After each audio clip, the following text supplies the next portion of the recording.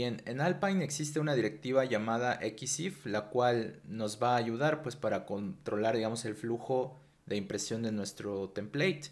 Lo que podemos hacer aquí con el xif, por ejemplo, es ver que esto si se encuentra en modo edición se muestre, si no, pues simplemente que se esconda. Entonces, ahorita esto simplemente es la maquetación, pero bueno, hay que esconderlo, ¿no? De un inicio no debería demostrarse. Entonces, vamos a ver cómo trabajar con xif. Bien, para utilizar la directiva xif va a ser algo similar como con x4, es decir, nos requiere que pongamos un tag que se llama template.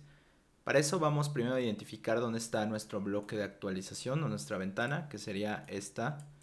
Eh, lo que debemos hacer aquí prácticamente es encapsular este código desde aquí. Entonces vamos a poner aquí una etiqueta template y vamos a poner aquí un xif. Eh, ¿Cómo es que funciona xif? Pues muy sencillo. Si es que eh, lo que ponemos aquí adentro es true, pues va a mostrar todo lo que esté adentro de la etiqueta de template. Si no es true, pues simplemente no lo muestra. Entonces, de esa manera podemos controlar la visibilidad de todo este bloque de código. Entonces vamos a meter adentro de template todo nuestro código. Recuerden que siempre debemos de tener una etiqueta, o sea, después de template solamente debe de haber una etiqueta que encapsule a todo. Si tenemos dos, pues esto no va a funcionar. Es tal cual como nos pide Alpine. Ahora, una vez guardemos esto, podemos darnos cuenta, bueno, aquí tenemos un error. Eh, y esto es porque no le hemos pasado nada de xif. Vamos a ponerle aquí true, ¿no? Bueno, vamos a ponerle false para que vean que no se muestra. Si guardamos, ya no aparece la ventana, ¿ok? Y si nosotros ponemos aquí true, pues debería de aparecer, si te das cuenta. Entonces, Vamos a comenzar a programar la estrategia para que obviamente se cargue cada que le demos clic a algún botón que pongamos aquí. Bien, vamos a ir a nuestro componente y aquí vamos a programar unas nuevas funciones.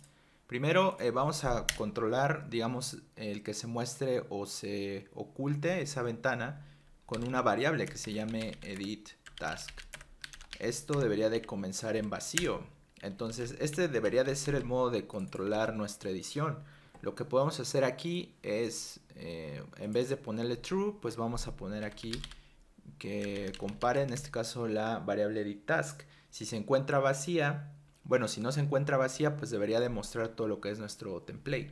Entonces vamos a ponerle que si esto no es igual a vacío, pues que se muestre lo de aquí adentro. De lo contrario, pues no se va a mostrar. Entonces ahorita como está vacía, en un inicio, pues debería de, de ocultarse. Entonces, ahora lo siguiente que vamos a hacer es programar unas funciones para que obviamente el valor de edit task se asigne.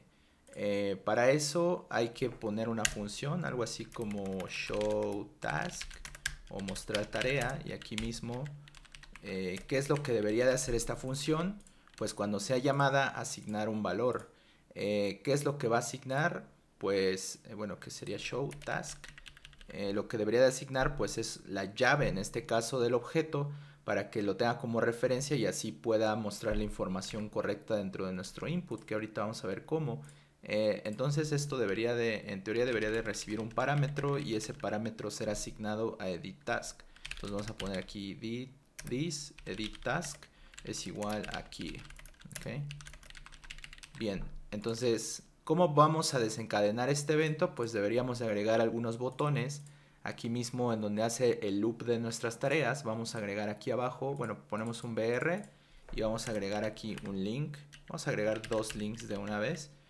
Eh, podemos borrar el href, vamos a poner aquí una clase con un text, eh, no sé, vamos a ponerle danger para que se ponga en rojo y aquí vamos a poner eliminar.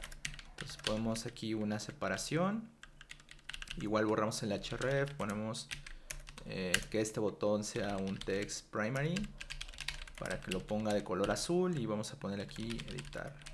Entonces lo que vamos a hacer es asignar un evento por el momento a editar. Entonces vamos a poner aquí arroba click y vamos a ponerle que se ejecute la función show task. Ok, recuerden que les había contado que si nosotros abrimos los paréntesis podemos pasar parámetros. En este caso el parámetro sería el índice principal que ya lo podemos capturar aquí con key. Entonces simplemente vamos a pasarlo, guardamos y esto eh, obviamente debería ejecutar show task y asignar un nuevo edit task. Ahora cuando eso pase, cuando ya no sea vacío, pues obviamente se va a mostrar nuestro template.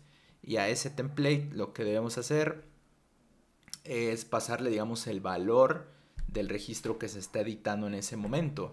Pero antes de eso vamos a irnos acá y vamos a ver cómo funciona. Si nosotros le damos aquí en editar, vemos que ya nos muestra la ventana. Entonces, ¿cómo cerramos esto? Vamos a poner a programar el botón de cancelar. Para eso vamos a poner un nuevo evento aquí. Que cuando se haga clic ponga, eh, no sé, close, close edit. Vamos a ponerle así a la función y vamos a programarla. Vamos a poner aquí abajo close edit. Obviamente esto es una función.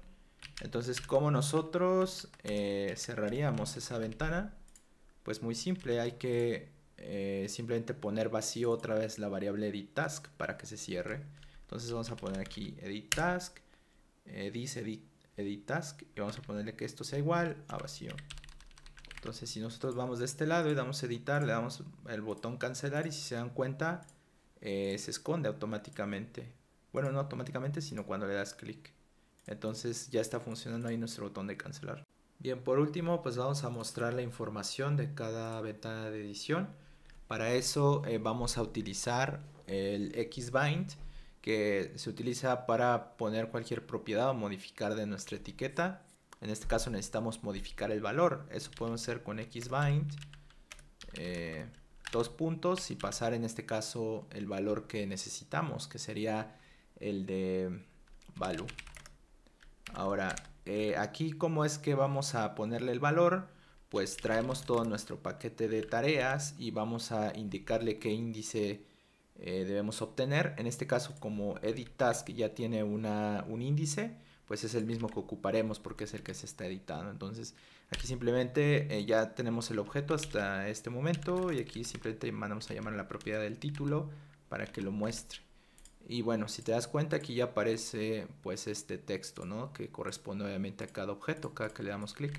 Ahora una sintaxis corta de xbind pues es simplemente poner los dos puntos y de igual forma funciona, es el shorthand. Entonces de esta manera quedaría nuestra, nuestro XIF y bueno, ya con nuestra ventana de edición funcionando.